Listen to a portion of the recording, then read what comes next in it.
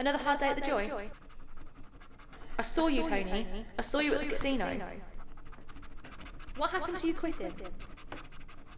This is your last chance, Tony. If you don't ask your dad for that promotion by the end of today, I'm leaving you. Be a man.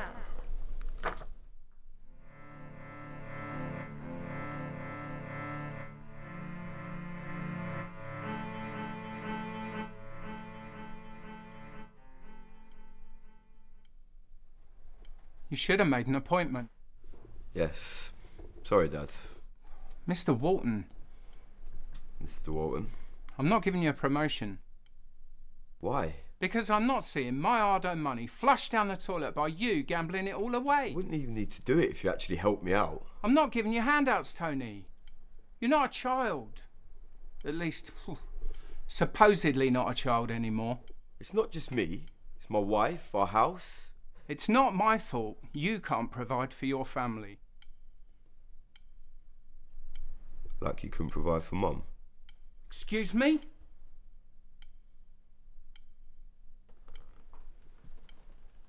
Let me get on with some real work.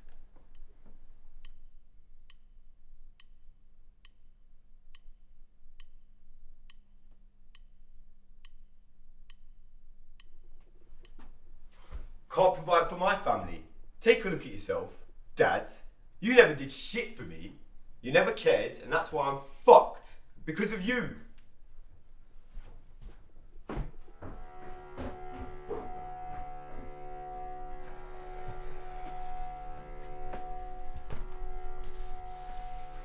Well? You've got to be kidding me. I didn't know anyone could be so weak and as useless as you. You oh, absolute. Oh, why don't you just fuck off?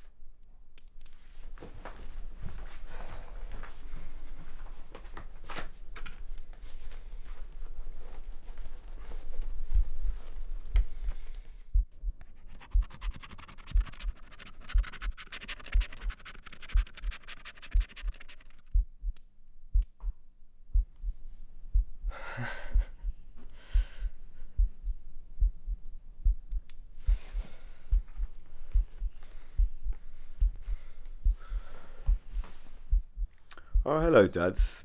Sorry to bother you again. I just thought I'd let you know I won't be needing your help financially anymore. Your son has it covered himself. So you can take your millions and your job and shove it up your arse.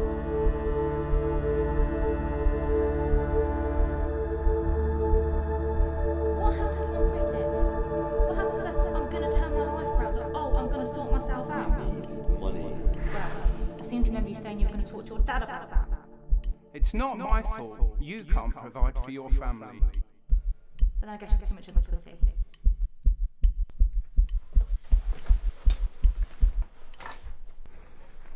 Tony?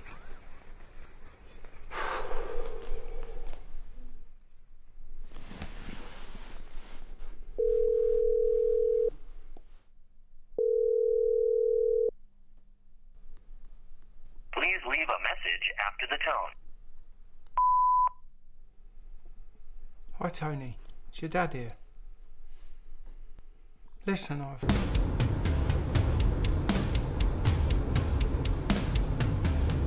I think we need to stick together because.